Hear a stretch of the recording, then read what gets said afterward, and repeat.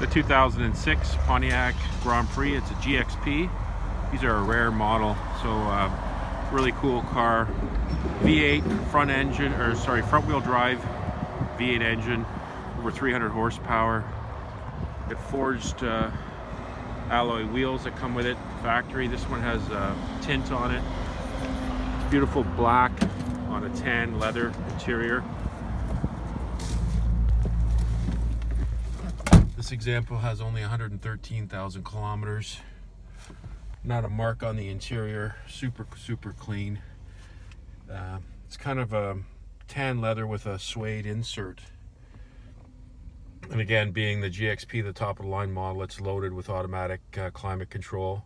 Obviously power windows, power locks, no Bluetooth back then, but uh, it does have a CD changer with the monsoon audio.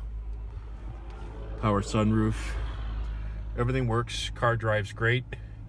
Want more information on this vehicle or additional photographs, please visit our website. It's bulletproofauto.ca. Thanks for looking.